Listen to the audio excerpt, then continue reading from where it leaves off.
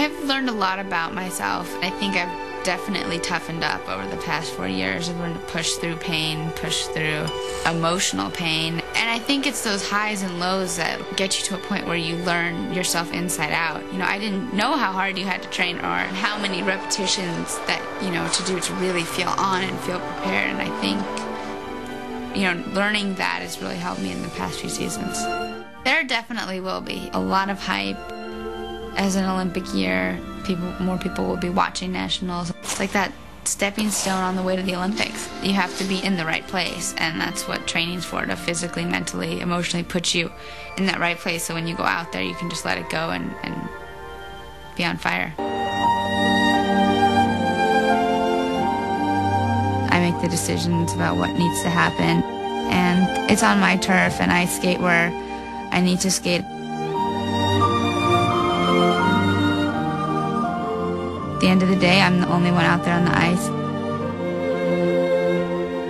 I feel like I'm a scientist that's done a thousand experiments since four years ago, and, and now I'm pretty sure I know the combination to get it right.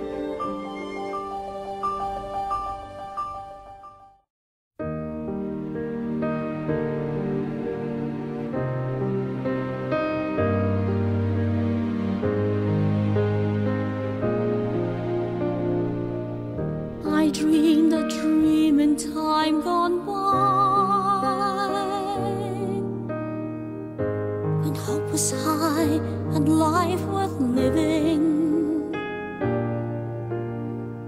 I dreamed that love would never die. I prayed that God would be forgiving. Then I was young and unafraid.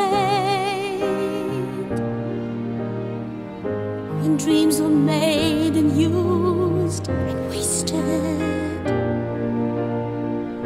there was no ransom to be paid.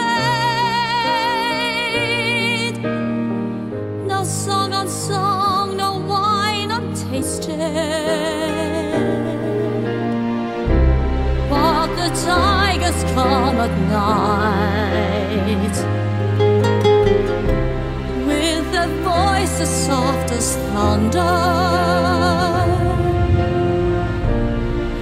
tear your hopes apart and they turn your dream to shame.